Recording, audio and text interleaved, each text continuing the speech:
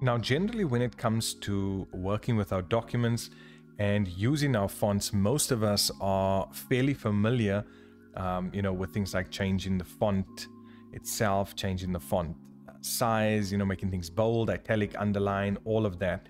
But just remember that we have something called the font dialog box. So if I go into the font group and I go to the bottom right hand corner, there you can see when I click on that little arrow, it's going to give me this font dialog box.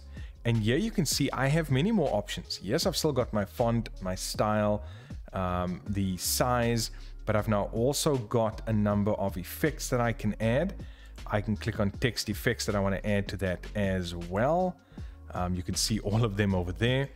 And then I've also got my advanced tab that deals with character spacing, the scale, the positioning, um, a number of different options as well. And this is still all under my font. So if ever you hear them talking about the font dialog box, that's where you go. And those are the options you have at your disposal.